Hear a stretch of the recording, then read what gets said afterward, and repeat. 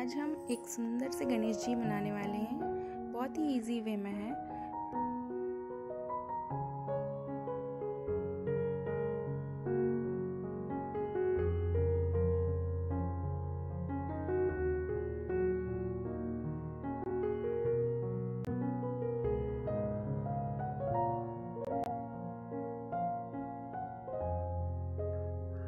यहाँ पे पेंटिंग बनाने के लिए प्लेन वाइट पेपर का यूज़ कर रही हूँ और कलर जो है एक्रेलिक कलर यूज़ कर रही हूँ।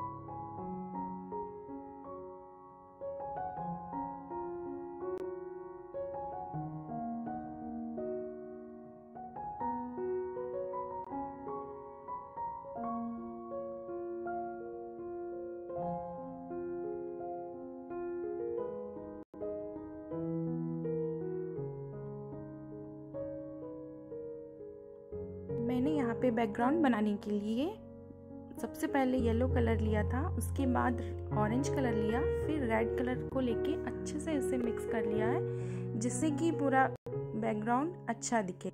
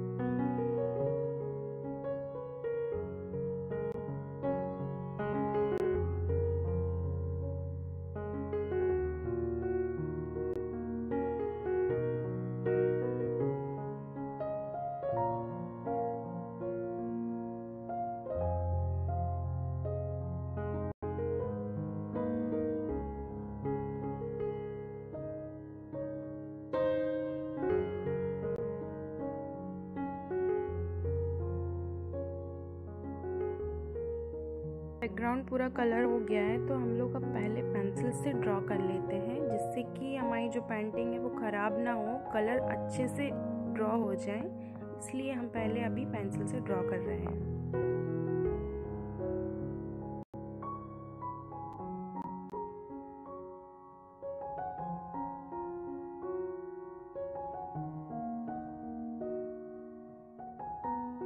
पेंसिल से बनाने के बाद अब हम ब्लैक कलर कर रहे हैं।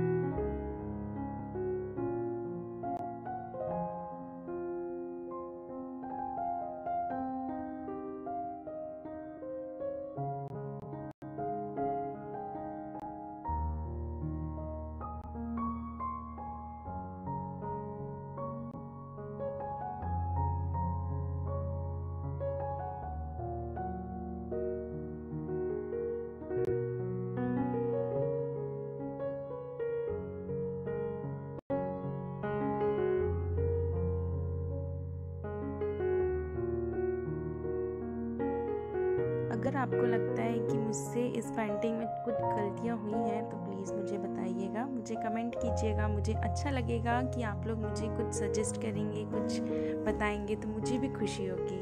तो प्लीज़ मुझे कमेंट करके बताइए कि कैसी बनी है।